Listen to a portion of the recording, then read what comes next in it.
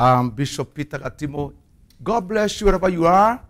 Thank you for being available. Thank you. Thank you for your time. You really honor God and we appreciate. And we want to share the word of God today. Oh, hallelujah. As we get to the end of the year, the Lord has commanded me to, co- to release you, to release you. And I want to, I want to, uh, to talk about the release of your healing. The release of your healing.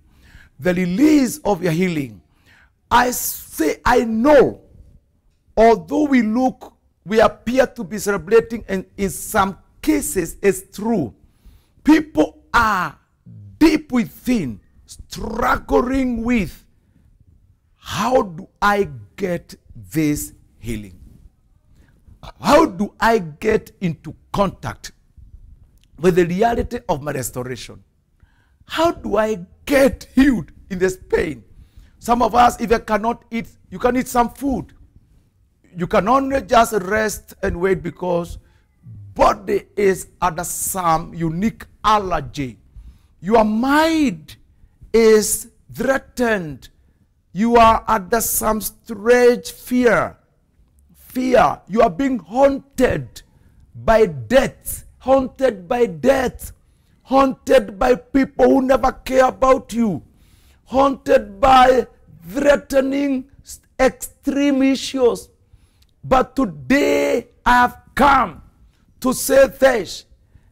You might lack strength within yourself, but the God who could command Red Sea to become a highway for his children is right here with me. And by his, by his grace, please, I say, don't give up. Even if your mind has come to an end, can you please wait and know that he is Lord? Psalms 46 verse 10 says, Be still and know that I am Lord. God still is giving you chance to know that he is Lord. The God who was with Moses at the Red Sea before a miracle could happen, he commanded people to stop making noise. Noise can be in your mind, noise can be in your mouth, noise can be in your feelings. Stop it, for God wants to teach you a new lesson. I want you to learn from the Lord. Do not terminate your life and do not produce terminal statements and do not utter anything desperate. Please hold your mouth and tell your heart, wait upon God. He is from everlasting to everlasting, and you never lack chance for his glory. You could be too low, but I say at the end of this year, you have offered God the best opportunity for glorification. I declare you are not closing to the new year with problem and oppression. And the Lord wants to really bless you. The Lord wants to powerfully raise your life in Jesus' name. He is our healer. He is our hope. He is the God of power. Let's go to Genesis. Uh, uh, let's go to the Bible. Sorry, let's go to the Bible and see. There are several things that sometimes cause us to be in sin.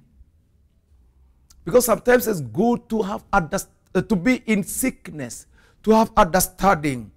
If you go to generally, we human beings, being born in this world, are the Adamic nature and curses. Naturally, the world has sicknesses.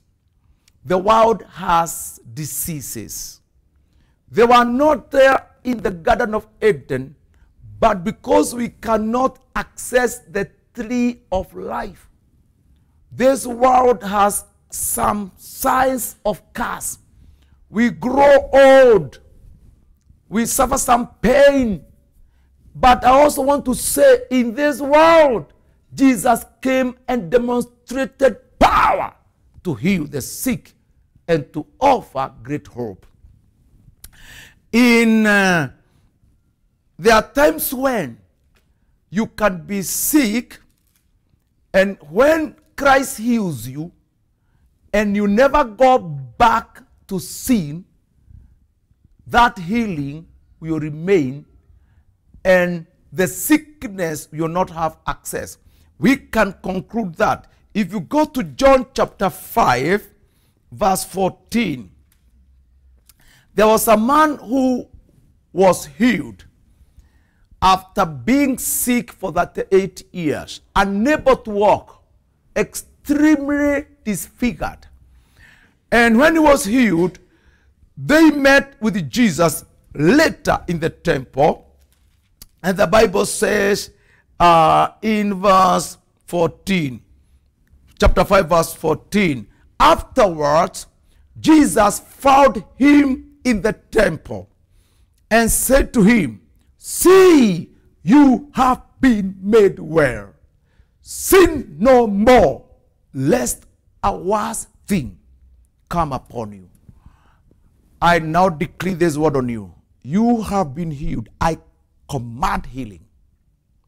See that you have been made well. Sin no more, lest a worse thing come upon you. There's maybe along the way you are rebellious. Along the way you never cared. Along the way you just fornicated and never sensed that you are causing pain to God who made you in his image until you ended up in pain. God forgive you all the sin. See, because of God's mercy, you have been made well. Go and sin no more. There are times people can get sick, and you find in your family there are funny attacks because of the sin of others. I read the scripture in the book of Exodus, chapter 20. Exodus, chapter 20, uh, verse 5. The Bible says, mhm, I hope you are there by God's grace. Uh, that is Exodus chapter 20. The Lord will bless you as you trust him. Or Exodus, sorry, it's Exodus chapter 20. I hope you are, you are there. Verse 5. You shall not, you shall not bow down to them, nor serve them. For I, the Lord, you are God, I am a jealous God, visiting the iniquity of the fathers upon the children to the third and the fourth generations of those who hate me, but showing mercy to thousands to those who love me and keep my commandments. There is this factor of rebelliousness being propagated in a family, and that persistence or that direction causes a certain kind of sickness, plague for the family. We may not, the modern mind may fail to comprehend this, but to us, we don't have modern mind and old mind. All what we have is the truth that God gave to rule people in all stages of life. We don't need, we appreciate what you call modern, but please don't think you are modern because 10 years to come, what you call modern will be extinct. But I want to say this uh, by the grace of God, of late in hospitals, we have a wide, wide room uh, in hospitals, beds for diseases that are non infectious, not caused by fungi, not caused by any contamination or any form of microorganism. They are caused by either attack or a, a kind of system in the body. And, and doctors now are developing some questions and inquiry when doctor asks, you are suffering from arthritis. Who in your family, either your grandmother, grandfather, and co has this problem? They always ask. The other day there was an issue in my our in-laws, my where my mother came from. My uncle died of cancer. After one year, the uncle that followed him died of cancer. After two years, their sister, that is my auntie, died of cancer. Another one died of cancer. Who cannot see there is an attack there? And I called a group of pastors. We went up to that place and said, We repent the sin of this family and we stop this attack. It is stopped. We need to address this issue and not sit back in defeat and withdrawal. That there are diseases these days. Doctors are struggling with them, and sometimes they tell us it can't be healed, it can only be managed towards your retirement. But I would like us to visit issues and declare forgiveness, declare the mercies of God, declare cleansing in families, and stop the spread, the propagation of these curses of sicknesses that are multiplying from generation to generation in a specific family. I say by the blood of Jesus, if there's such an attack in your family, I repent the sins of your forefathers. I repent the sins of your mother and your parents, and I declare the blood of Christ in that family, and I command death and sicknesses to stop. God, by the blood of Christ, cause you to have favor. There are sicknesses that are purely caused by a demonic attack. A demon came in. A demon came in. And even if you pray for the healing, the problem is that no one is actually sick. It's just the presence of a specific demon with a specific function. If you go to Mark chapter 9, verse 17, Mark chapter 9, verse 17, Mark chapter 9, verse 17, the Bible says, Then one of one of the crowd answered and said, Teacher, I brought I brought you my son who was who has a mute spirit. And whenever, whenever it seizes him, it throws him down, he foams at the mouth, gnashes his teeth, and becomes rigid. So I spoke to your disciples that they should cast it out, but they could not. If you go to verse, if you read that scripture, Jesus rebuked the spirit and, and said, Deaf and dumb spirit. Christ did not say, I heal you from being dumb. I heal from being deaf. There are times when Christ will say somebody who is deaf, I said, I heal you from the problem of being deaf. This time Jesus say, deaf and dumb spirit, which means it was a demonic presence attack. And the only way to be healed is to get the spirit out. Christ not say, be healed. He said, deaf and dumb spirit, I command you, come out of him and enter him no more. Can you imagine Jesus showing the demon the exit door and saying, There's no way, there's no way There is no possibility. There is no door of re-entry. Get out and enter him no more. I say, as we heard this year, I point at you. There is a demon that has come with a specific attack on you. I command it by its name and function and its powers. Get out. And I, by the anointing of God, I declare no entry. My brother, my sister, receive the cover of the blood of Christ. Be healed. Go in peace as you end this year. In Jesus Christ's name. There are times God will heal you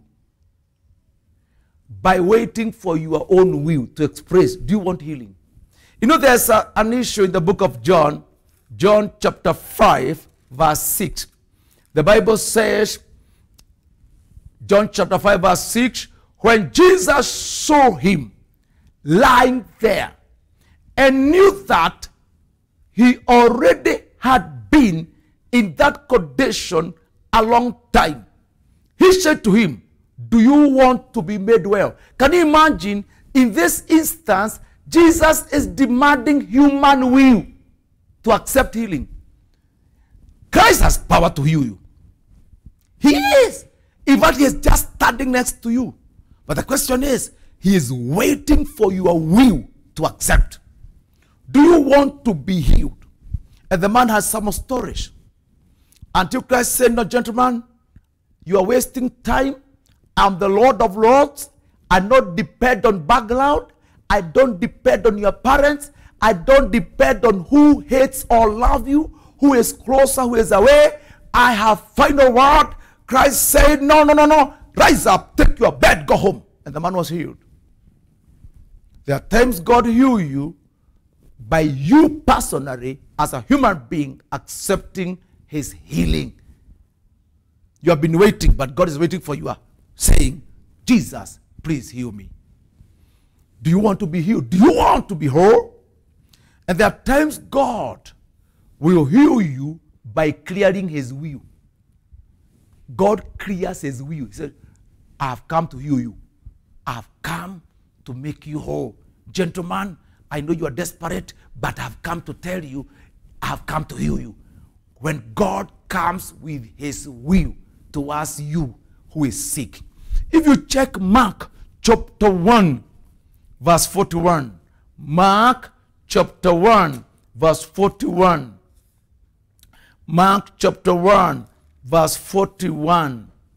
The Bible says, Then Jesus, moved with compassion, stretched out his head and touched him, said to him, I am willing, be cleansed.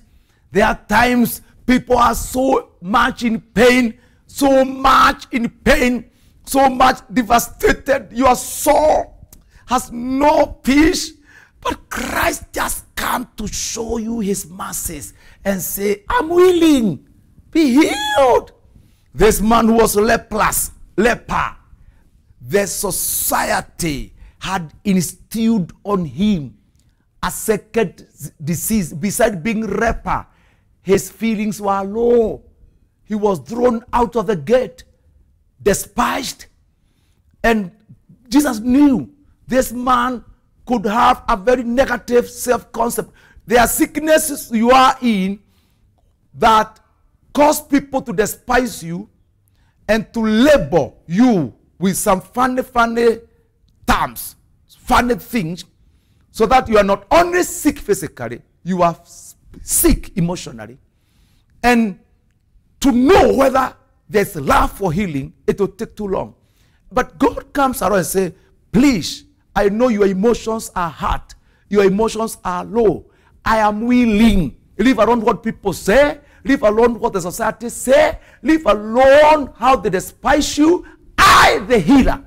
Leave alone people. They could not heal you. They could only comment. They could only throw you out. They could only despise you. But I, the source of healing, am willing, be healed. Jesus expressing his will in your healing. May the Lord bless you so much. Oh, Jesus is a healer. time has come to us this year. Be healed. End this year with joy. I know you are desperate. The sicknesses in several areas of your life, your body, spirit, soul, they are sick in some ways. They are sick in some ways. You know, when you talk about healing, sometimes you realize the body needs healing. You know, I was reading an issue in Matthew chapter 4, verse 23 and 24. This man was paralytic. He was sick in spirit, sick in mind, and sick in body. How is he being healed? The spiritual sickness is reached by demon getting out. The emotional sickness is realized because the demon that tormented the soul is gone. Torment is over. And the physical sickness is healed by this man who is paralytic being completely whole. I say just as the Bible says in First Thessalonians chapter 5 verse 23, may the Lord keep your soul, may the Lord keep your body, may the Lord keep your spirit perfect, peaceful, complete, waiting for his appearance. I pray that you proceed living in peace. Just as Christ said, Be whole, go in peace. I release you to 2022 by declaring you are healing.